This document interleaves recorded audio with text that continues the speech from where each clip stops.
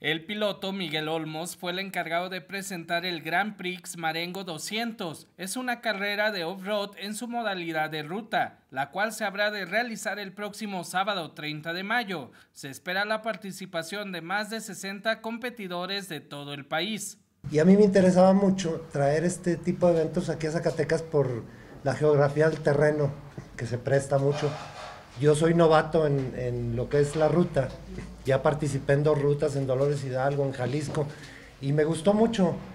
Y más o menos le, ando entendiendo.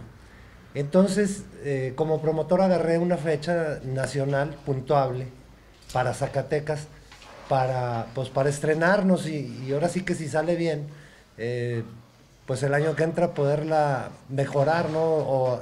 Puede ser nocturna, hacerle algunas, algunas variantes. Eh, lo que nos favorece mucho en, la fecha que vamos a tener es que va a ser puntuable, es la, es la segunda fecha puntuable nacional, la primera fue en Monterrey, pero es la primera fecha puntuable regional para Jalisco, la van a tomar en Zacatecas como puntuable para el campeonato de Jalisco. Entonces vienen todos los pilotos de Jalisco, que son bastantes los, los pilotos ruteros. Aquí en Zacatecas somos pisteros, ¿verdad? Pero pues andamos también queriendo incursionar, estamos preparando los carros para, para, para este tipo de eventos, ¿no? Ya trazamos la pista. Con imágenes de Julio César Lara para B15 Noticias, Alfredo Jiménez.